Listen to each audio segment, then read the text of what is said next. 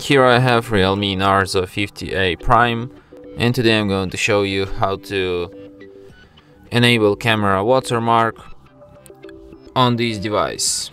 So firstly let's open camera, tap on the gear icon to access its settings and here you can add logo watermark and also time watermark. And now every time you will take a photo it will be marked with your watermark. And that's it. Thanks for watching. If you find this tutorial useful, don't forget to hit that like button and subscribe to our channel.